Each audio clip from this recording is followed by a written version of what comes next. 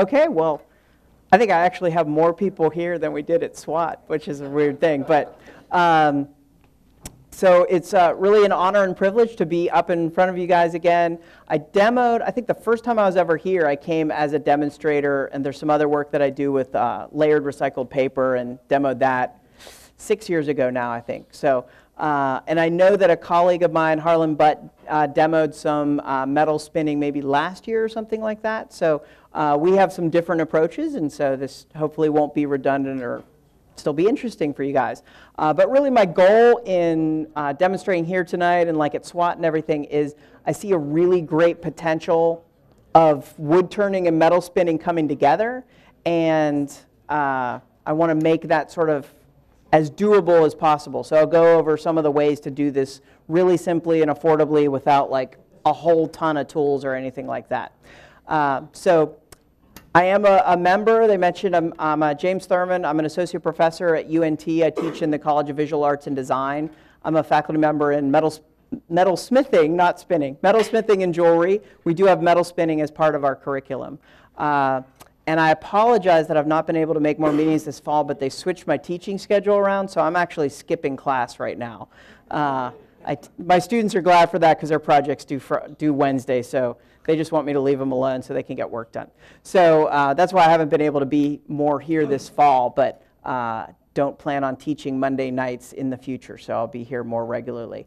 Um, but I sort of came to a little bit of background on this is uh, since my background is in sculpture and, and metal smithing, I sort of came to wood turning the other way around. So metal spinning, if you're not familiar with it, is not a subtractive process like wood turning, where you have a block of wood and you carve into it and you're left with a pile of shavings and a thing that you made. So uh, with metal spinning, it's actually a forming process. So you start with a flat disc, and if you imagine kind of like clay on a potter's wheel, you're grabbing it and moving it around. So it's a forming process. Now, you don't want to grab spinning discs of metal with your hands, so there's some other tools there that, that work great for that. Uh, but there's, there's a little bit of trimming and everything, but for the most part, it's not a subtractive process, so that's a little bit different. Also, you have the, the wooden forms you might have noticed here. So in metal spinning vocabulary, they call these chucks. I know that they just look like rough blocks of wood that are the start of turnings, but for metal spinning, you call these chucks. And most metal spinning that's been done for several hundred years now is about production, so making the same unit over and over really quickly. And so you would form your chuck to the inside, lay the metal down exactly onto the chuck so that you could replicate your, um, your results and make exactly the same thing. Now, I don't do uh, production metal spinning. So I do just kind of one of a kinds, as you can tell from a lot of the sort of samples and experiments and things like that. So most of the spinning that I'm doing is called on air. So when the disc is just held between the chuck and the follower block, and I'm pushing it around with the spinning tools, and most of the metal is out there on air. So you don't really need much of the wood and laying it down on there. And in fact, while you're doing that, you want to be careful that you don't push it down too hard onto the wood or else uh, you're going to make a wood and metal piece that is locked together forever. So you can pass that around. And this is what you don't want to do. Um, so in graduate school, I became really interested in making sort of tabletop vessels, and metal spinning seemed a really great way to do that. And so I was learning about it. Uh, this was at Cranbrook Academy of Art outside of Detroit. And uh, I wanted to learn more about wood turning to make my tools better for metal spinning. So I came into the wood turning world from the metal spinning world, if that kind of makes sense. And so I was really fortunate while I was in graduate school. I took a summer workshop at Arrowmont with John Jordan. Has anyone been to Arrowmont? Has anyone heard of Arrowmont? All right, most people have heard of it amazing experience, like art camp for grown-ups. I still remember the two weeks that I was there with John Jordan, just a phenomenal experience. So I probably learned as much as I needed for metal spinning in like the first two days at Arrowmont, and then the rest was just being able to hang out with John Jordan and do wood turning stuff with him. So what eventually happened is I realized, wow, I could combine wood turning techniques with metal spinning and make pieces that combined wood and metal. And there are a few other people out there that do that. Um, Lynn Hall does mostly spinnings and, and some other wood turners that might have some wooden parts or uh, some metal parts. And I've talked with them about how they approach it. And probably what I would recommend if you're interested in it, is to sort of make the metal part first, since you have more experience with the wood turning, and then fit the wood turning to that metal part. So I think that there's certainly you can buy candle cups and inserts and things like that, but you can um, you could certainly make other sort of custom metal parts that could fit down into spinnings or be spouts or handles or bases or things like that. So um, most of the time I would recommend making them separately and then kind of fitting them together, although you could lock them together on purpose if you wanted. Um, so I've been, that was about uh, 20 years ago. So I've been spinning not daily, but for about 20 years. And uh, a lot of the different samples that you'll see, I'm not demonstrating tonight. So the perforated ones that start from punched holes, that's a really loud, it's like driving really fast down a cobblestone road. So that's, it looks cool, but it's not great for demos because it just looks really bumpy and scary. And I don't want you guys to be scared of metal spinning. I want you guys to think, yeah, this is something I want to go do in my shop. So um, not doing so much those, uh, but I am going to show a couple different techniques. So just something, it'll end up something like this, just like a nice little elegant votive holder with the holidays coming up. Maybe you could jump into this and get into it. Um, but I'll show the different kind of techniques with metal spinning that kind of are involved in that. Um, first off, I just want to go over some of the basic tools that are a little bit different. So most on the metalworking side of it, most there's not a lot of metal spinners because they don't have a wood turning lathe or a metal spinning lathe. And that's a big investment and big space for a lot of metal workers that are you know, welding or hammering metal or something like that. So you guys already have the lathes. You're like 95% there. So I think there's a far better chance of wood turners getting into metal spinning than metalsmiths getting into metal spinning, even though we teach it in undergrad and everything else. Um, so you have the lathe. The forms, I tend to use the interchangeable uh, hubs for faceplates to make the chucks and everything so that I can switch out different forms that I might need. But this is all pretty much standard things. I just have a, a threaded live center on the, the tailstock for the follower block and you just need some space to work. So as I start spinning, you'll see the, the space that you need to work. But pretty much you just need the chuck and the follower block. Probably the biggest thing that's a bit different for you guys is the tool rest. So this might be the, the kind of the stumbling block there. It doesn't have to be out of steel with this um, kind of bar, and the, but you do need the upright posts. So you'll see as I get into leverage and everything that you need an upright post. So the regular tool rest that is for a, a wood turning setup isn't going to work so well. So that's the, the main adjustment there.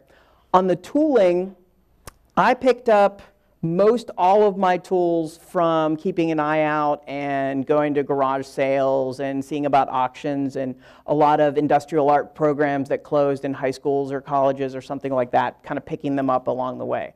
Um, I did in conversations, uh, I was curious and I was trying to think of like, how can I, I talked with uh, Neil who gave me some really great pointers about how to make this as useful and practical for, for you guys as possible. And so something that came up that I'd never tried was, well, does the, the, the tool have to be out of steel? So a typical spinning tool, I'll pass around one that I'm not going to use, is essentially a, um, I don't know which camera's on, we'll just go with this right here. So uh, most of it is just a formed steel bar so if you have some blacksmith friends out there, they can certainly set that up. And then in a tool handle. So you guys are all set with the tool handles, but the steel might be a stumbling block for you guys. So if it is, I was um, talking with Neil about how to make that easier. So just for fun, I wondered like, well, could a broomstick actually do metal spinning? I have no idea. I've never heard of anyone doing that. It actually does work.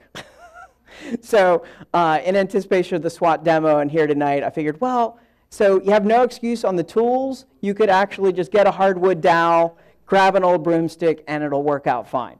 Um, now, I did have to make it look a little bit better than that. And so different conversations and ideas and, and having conversations after a demo and things like that. So looking at maybe a better wood than whatever kind of hickory or, or oak or whatever the broom handle was, so of course you're at SWAT and you have to buy tools, right? so it's an excuse to buy more tools, which is always a good thing, right? So I um, got the one of the Thompson handles where it just has the uh, set screws and you can loosen those. and I don't know if I have my Allen wrench, doesn't matter. And then someone suggested, well, why don't you try like an Argentinian uh, lignum vitae that has a little bit of kind of oil waxiness to it and is a really hard wood. So uh, I had to make a snazzier version of the broom handle for tonight. And so once I get things kind of going and everything, I'll, I'll show you that wood works almost as good as steel and everything. So, so there's that. Um, there's lots of other tools as you get into it. Um, and but basically that's pretty much all you need to get into it. So a broom handle and a modified tool rest, and you're good to go along with your lathe. So what I'm going to be doing is, uh, and you might have, I don't know, sort of like gone on YouTube and seen some spinning videos and everything else. So there is a lot online with metal spinning. Most of it is geared towards production. So they're trying to make as many parts as they can as quickly as they can. And I am not like that. I won't I don't work that way. I won't demonstrate that way. So don't be scared by the speed of things online because they're sort of showing off and they're, they're cranking out all those parts and everything. So don't expect, unless you want to get into production, metal spinning or something like that, that you're ever going to work like that.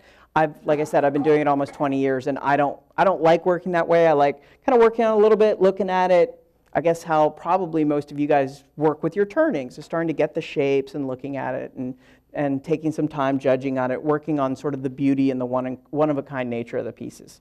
So, what you need to do so you have the metal centered. And you might have seen some videos where they like throw the disc in there and slam the tailstock into it and jam a, a wooden bar in there and while it's spinning, get it set up and, and all this like quick, fast scariness. So uh, again, I don't work that way. So what I would recommend is you have the blanks, and uh, I think I would recommend starting with aluminum. And all of the, not all of them, but a lot of the handouts and everything else, if you go to my website, I scanned all the PDFs, and I figured that's easiest that you can just download any of the PDFs about this uh, that are up on my website. So what I would recommend is starting with aluminum and annealing aluminum might be somewhat daunting for you if you're not used to metal and everything. So aluminum is a soft metal, but you want to soften it even more so it works really well. So just to pass that around, um, this is not annealed, and this one is, just so you can compare the two, pass those around. And it will make a difference, even though uh, aluminum is really soft. So what you need to do to, you can anneal it just with a basic plumber's torch or something. You don't need an expensive setup or anything. But aluminum does not change color when you heat it up to soften it. So if you're waiting for it to like glow magically red like copper or steel or something, you're going to just melt into a blob of aluminum that does not spin very well. So you want to avoid that. So you, there's two, two things that burn off at the aluminum temperature or the annealing temperature on aluminum. One of them is like Sharpie marker, and the other is just soot. So if you have like an acetylene torch and you can soot the metal, or if you just scribble on it with Sharpie, you can see the annealed one has these kind of scribble marks. So what I normally do is I just scribble with Sharpie on it and then heat it up with a torch until the ink burns off, and then you know you have a nice soft disc to start with. Um, if cutting discs is an issue because you're not metal workers and you're like, well, I don't even have metal snips or anything else, uh, you can certainly order these and I can tell you different sources and things like that. So um, one thing I will warn you, uh, they make industrial strength Sharpies that have high temperature resistance. Don't buy those and use them to anneal your aluminum. I heard that isn't end well. I don't, maybe it didn't happen to me, I don't know. But um, FYI. So, so this is annealed. I have this centered between the chuck and the tailstock. And all I'm going to do while this is spinning, and I don't work at a really high rate of speed, because again, I'm not into production, I'm not cranking these out. So it's about 1,000 RPM, whatever you're comfortable with, uh, but it should be clamped well in here. And the only, so there's a couple main, I like to cover safety first, um, that you want to make sure, I'll pause. Uh, so two main things is the even though this is not a sharp disk of metal, still it's a rotating, spinning disk of metal. So while it's spinning, don't touch it. Common sense, right? And then the other thing is that, yes, spinnings can slip out and everything else. Most likely, it'll just sort of like drop and roll. It won't like shoot out like some kung fu movie or something. Um, but really, once it's locked onto the wooden chuck right here, it's not, at worst, it might go sort of catawampus or something, but it's not going to fly off or anything. So the first thing that you want to do is lever this metal down while it's spinning to lock onto the base. So I tend to have the top part of my, my wooden chuck the, the size of the interior, so the little candle cups or something like that. Um, you also need to lubricate this while it's spinning so that you're not rubbing steel up against aluminum and kind of dragging into it and everything else. And there's all kinds of discussions about all different kinds of lubricants and this, this engine axle grease is better than this other one. And we had conversations about making your own lubricants at SWAT and all this other kind of stuff. So since I'm not doing this every day and I don't want to like cover my shop in like axle grease and everything else, I just use a basic paste wax. So I figured that's not as obnoxious. If you get some wax on your lathe, it's not going to smear all over your clothing and your wood and things like that. However, I, it does get a little bit of grime on it, so I do have my like special spinning jacket because, you know, I got my like snazzy wood turning jacket that I don't want to get things on. So, so I do have a separate jacket just because you, you probably will get like a little bit of the lubricant on you and stuff. So, so just got to suit up for that.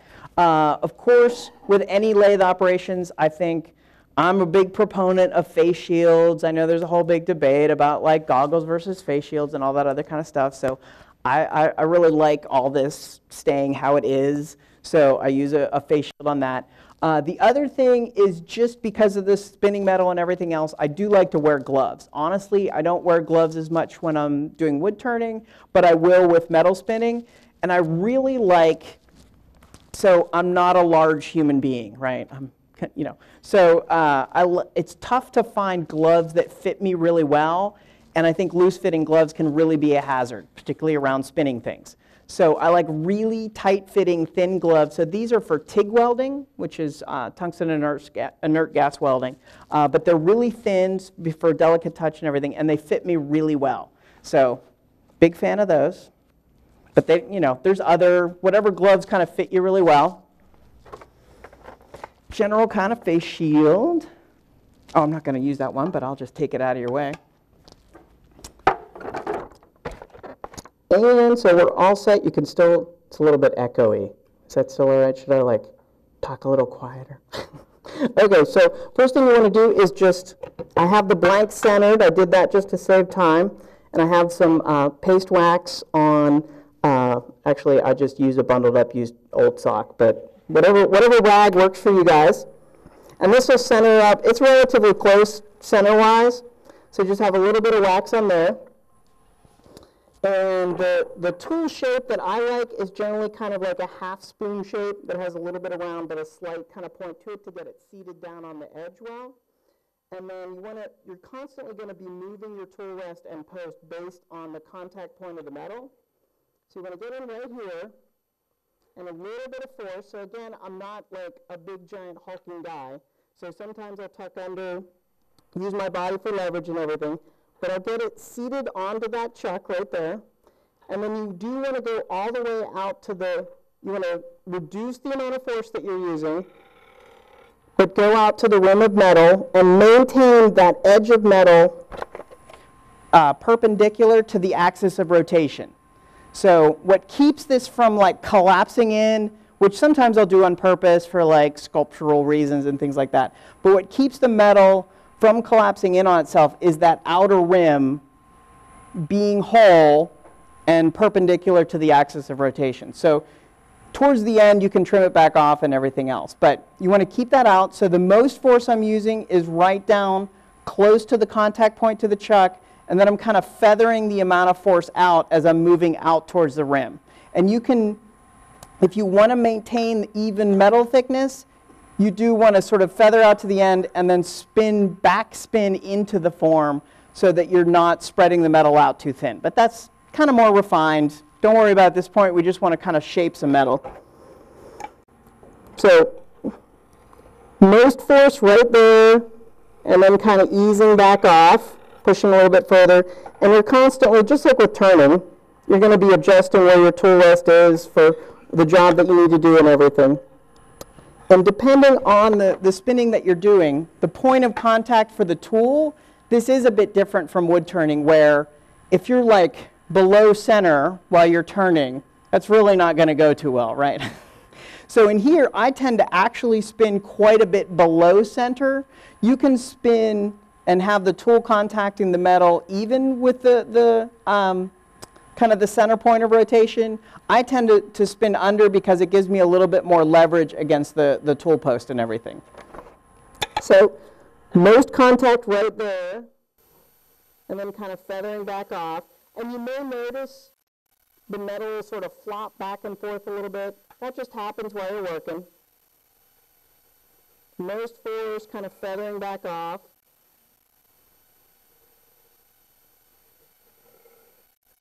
See, it's not so hard, right? You guys could all be doing this. You could make tons of Christmas presents before you even know it. So I'm keeping that rim perpendicular to the axis. Just kind of laying it down on there. Again, I'm kind of burnishing or pushing against the wooden chuck underneath, but not super hard, and I don't have any um, sort of undercuts in the wooden form here that I might trap the metal onto. So since I was thinking about something, what can I make that's interesting for a demo and everything? So I did want to show, so at a certain level, like that's it. Which doesn't make like a super exciting demo, like, yay, it's a, it's a trivet that you put like coins in or something, I don't know. So I did want to show you a couple other techniques that don't get too advanced, but might make a sort of a more interesting sort of finished object. But you just can do more of that as far as starting at that base point, feathering it down, and then back onto it. So any basic questions? Yeah? Turn any larger things? How big of things do you turn?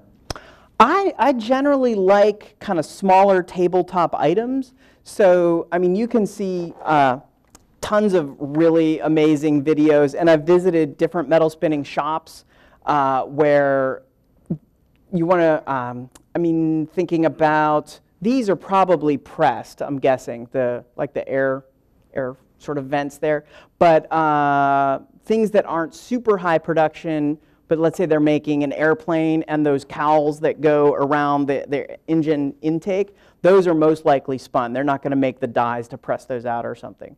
Uh, so they get quite big, yeah. And there, there's other reasons at a technical level as far as the qualities that happen to the metal while it's being spun that's very different from uh, like stamping or machining down to it or something like that. So there can be other properties there that are important. And you can spin incrementally. So like if you're thinking with like a nose cone, like having this be a point, it's really tough to get any leverage against the metal. So you would have some incremental stages where you might spin it like this and then have a, a jig that would hold it and then you can spin this back down to a point or something like that. So you can, you can get really sort of fancy with it. I think when uh, Harlan was here, I think Harlan worked with Neil on making some of those breakdown chucks. So you can make chucks out of many parts so that then you could, let's say, spin most of a sphere and then break the chuck down and pull all the wooden parts out, and then you have like three quarters of a sphere. That gets, I mean, you can talk to Neil about making that chuck. It's not, it's an involved thing. It's not super involved, but it's, it's a tool. Um, so everything else is making sense though as far as the basic forming, right? Yeah, another question.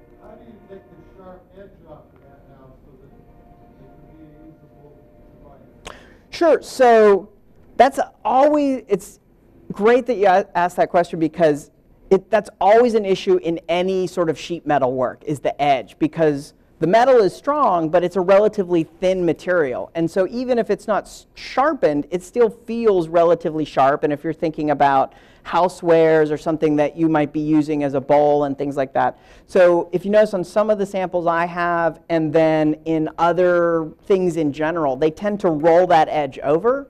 So uh, if all, everything goes well, I was going to do that to show that. So uh, that's uh, for a reason a lot of times like um, if you think of those cheap clamp lights, those are all spun, probably CNC spun, but those have the edges rolled under so that they can be really safe and everything.